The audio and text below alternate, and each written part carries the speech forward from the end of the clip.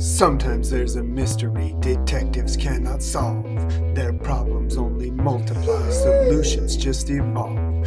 And then comes the great divide that splits things all apart. Then you need the master, a man with math and heart. He's Abacus the Great. He'll clear up all suspicion. He'll distribute, regroup, solve for X, cause he's a math magician. Add, subtract, multiply, divide all things which he excels.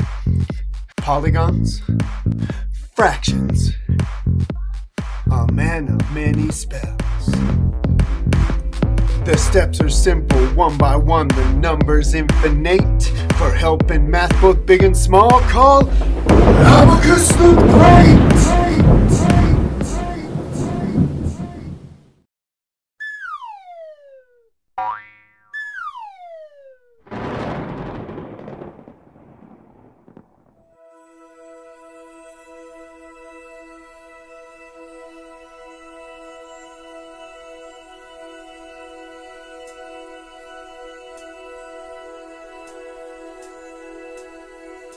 I've been staring at these packs of pudding long as I can remember, wondering how to divide them.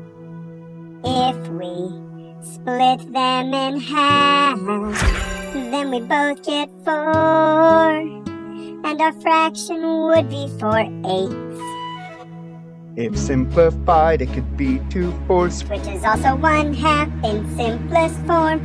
All of these different fractions are equivalent. See the line that divides the numbers, they have names. The top is called the numerator. It represents the part of the whole. Now look down. The bottom number. The denominator is what represents the whole. I know each number has a purpose. Each of them will help me understand these fractions. I know if I break it into four groups and I take one of those groups, then I will have one fourth. I understand fractions are a part of a whole, Numerator's part, denominators whole. one half, one third, one fourth, one fifth. Now I know. The line that divides the numbers, they have names. The top is called the numerator. It represents a part of the whole. Now look down. The denominator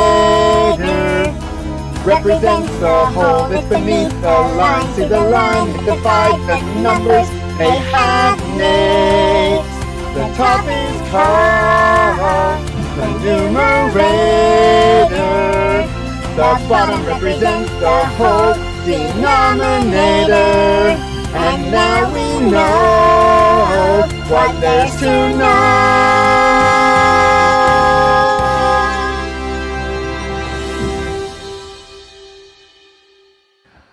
Thanks for that, Helix. That was fun. If you hadn't figured it out, in this week's episode, we're going to be talking about fractions, numerators, denominators, equivalency. How about we get into it? Alrighty, guys, let's talk fractions. Take a look at this bar on the screen. One big long bar. But what happens if I divide that bar into five different pieces? Shoo! I still have the same bar, still the same bar, just divided into five pieces. So that whole bar is five pieces. Now, what happens if we make three of those pieces white? So two of them are now pink and three of those pieces are white. What I have done here is create for you a fraction. I want you to think about the words part and whole. Okay? The part of the bar that is pink was 2. And if you remember, and you can still count, the whole bar was divided into five pieces. So the part that I'm looking for goes on top, while what the whole thing was broken into goes on the bottom. I have then created a fraction of 2 fifths, or 2 over 5, to represent the number of squares of that bar that are pink. On the opposite side of that, we could think about how many squares of that are white. So I still have five pieces. So that fraction will still have five on the bottom because the whole bar is still divided into five pieces. But if I want to talk about the number of boxes of that bar that are white, how many is it? Tell me. Good. I'm going to write a 3 on top. So 2 fifths of that bar were pink and 3 fifths of that bar were white. So what I did there was took a whole, one whole piece, broke it into five littler pieces, and then we talked about the fractions that we shaded it. These top and bottom numbers have a specific name. Remember, the top was the part and the bottom was the whole. We also refer to the top as the numerator and the bottom as the denominator. So the part of the group that I am talking about is the numerator, while the whole of the group is the denominator. I'm going to use these words going forward, so make sure you're familiar with them. Say them one more time with me. The top number was the numerator, and the bottom number is the denominator. We can also look at this as a group of objects. So rather than one bar broken into pieces, I can look at it as a group of objects. So here, I have a group of 10 circles. Now, what if I take four of these circles and I make them blue? So now I had 10 purple circles, except for rather than all of them being purple, now four of those circles are blue. So my question for you would then be, what fraction of those circles are purple? Remember, how many were there total? That's your whole. That's going to go on the bottom. So I have 10 circles total. One, two, three, four, five, six of them are purple. Or what fraction of them are blue? My numerator is then going to be 4, while my denominator maintains being 10. So 6 tenths with a numerator of 6 and a denominator of 10 represents how many of my circles were purple, and 4 tenths with the numerator of 4 and the denominator of 10 represents how many of those circles were blue. Now, let's talk about equivalent fractions. I started with 2 fifths here. Now, an equivalent fraction is just going to be any fraction that is equal, remember equivalent just means equal to that same fraction. Now, I'm not going to change my bar here at all. My bar is still going to be the same size, and it's going to have the same amount of it shaded. All I'm going to do is break each box into two boxes. So there's two, there's two, there's two, there's two, and there's two. Now, if you count, one, two, three, four of those boxes are now pink, and there are one, two, three, four, five, six, seven, eight, nine, ten of those boxes total. Two fifths is equivalent to four tenths. I didn't change my bar at all. My bar is still exactly the same. All I did was broke it into smaller pieces. So 2 fifths then becomes 4 tenths. You can think about that a little bit differently by saying I multiply that by 2 to get 4, and I multiply that by 2 to get 10. Now, why does multiplying both of them by 2 work? Well, what is 2 over 2?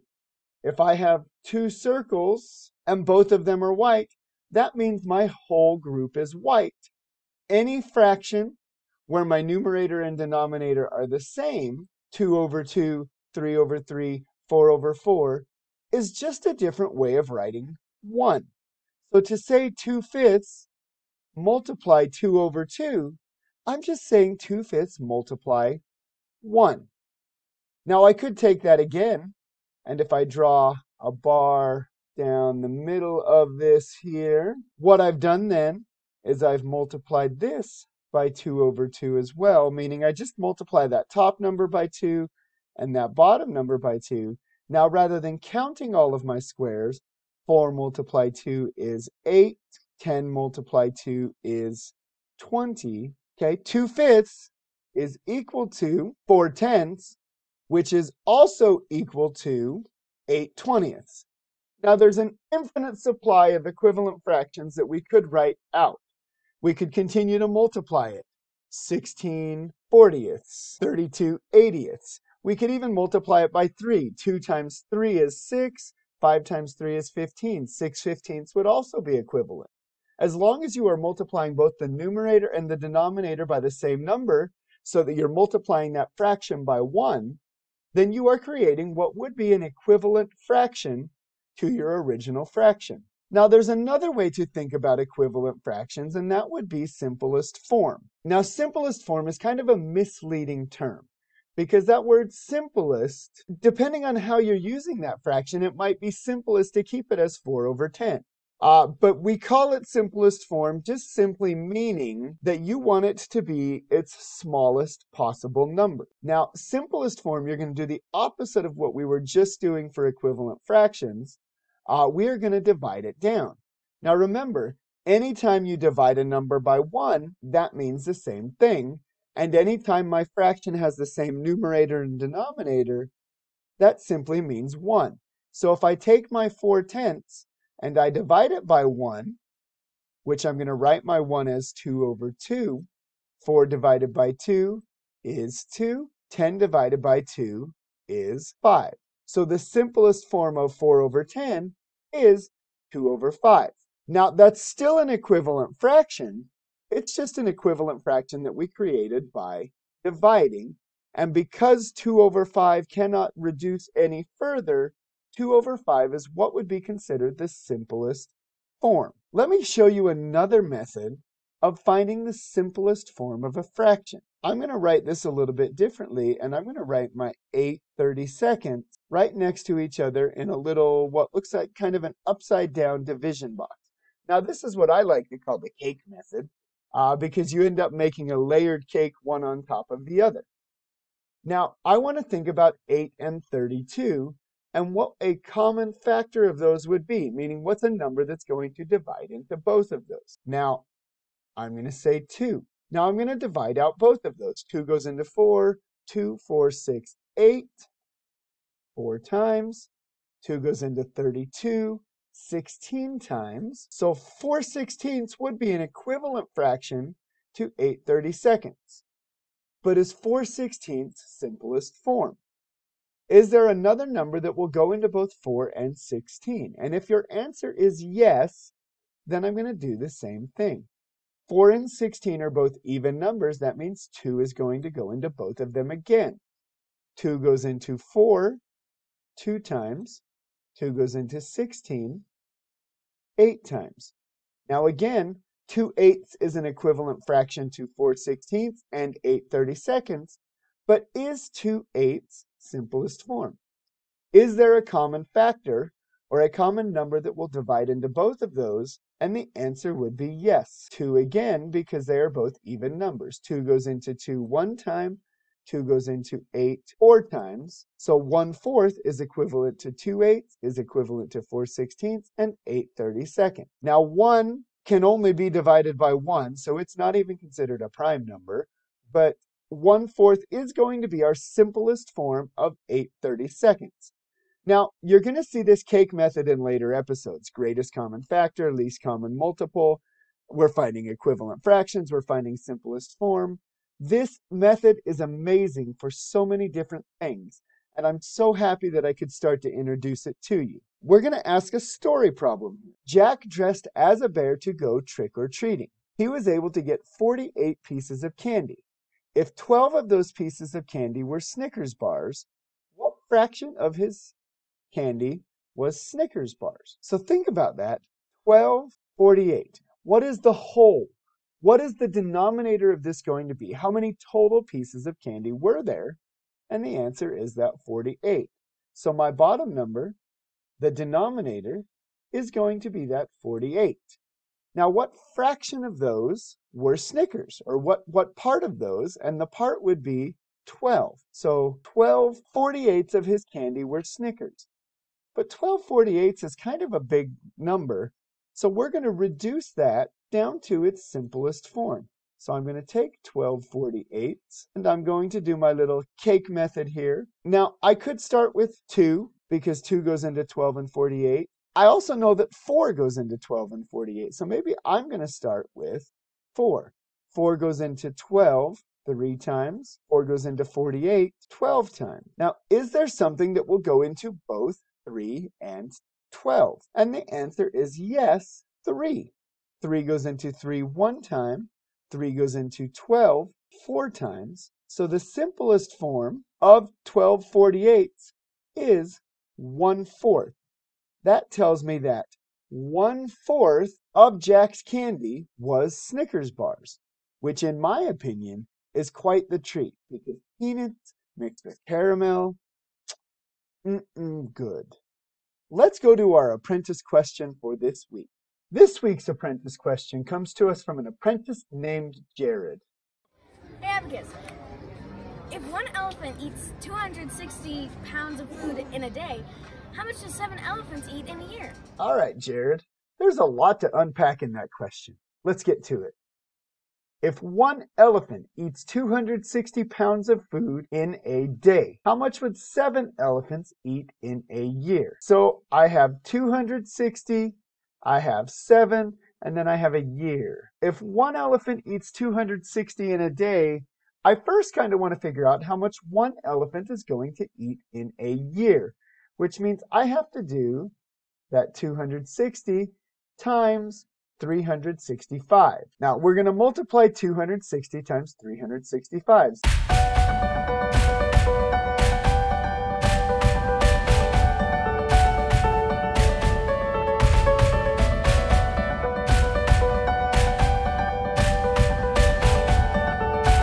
So one elephant is going to eat approximately 94,900 pounds in a year. Now his question didn't stop at one. His question asked me how much would seven eat in a year? So I'm going to have to take that 94,900 and I'm going to have to multiply that by seven. Same methods here.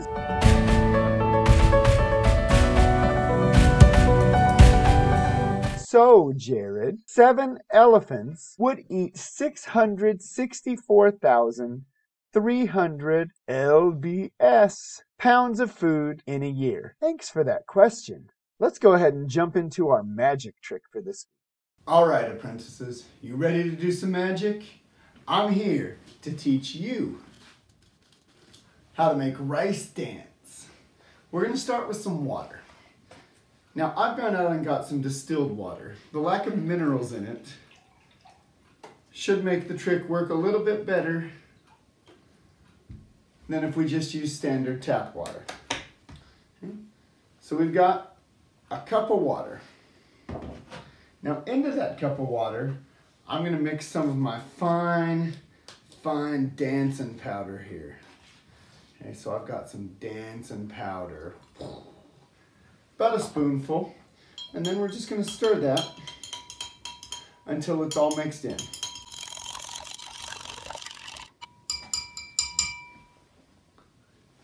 Now, on top of the water, we're just gonna throw a pinch of rice. For effect, I'm gonna put in a couple drops of food coloring. Now, the secret ingredient. I put in my dancing powder, but what good is a dance if there's not a partner? So this is the partner to the dancing powder.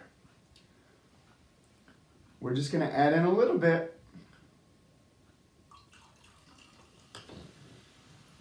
A little bit more. Now we watch the magic happen. Zoom in, bring it in here.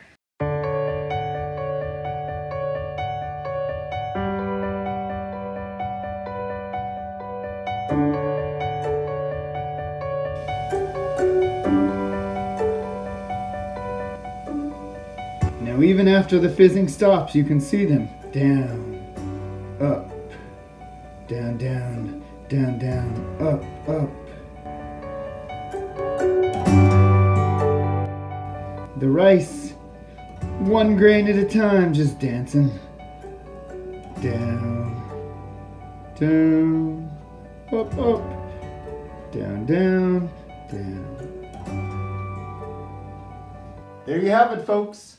The amazing dancing rice. That's it for this week's episode. As always, apprentices, until next time, make sure your math is magical.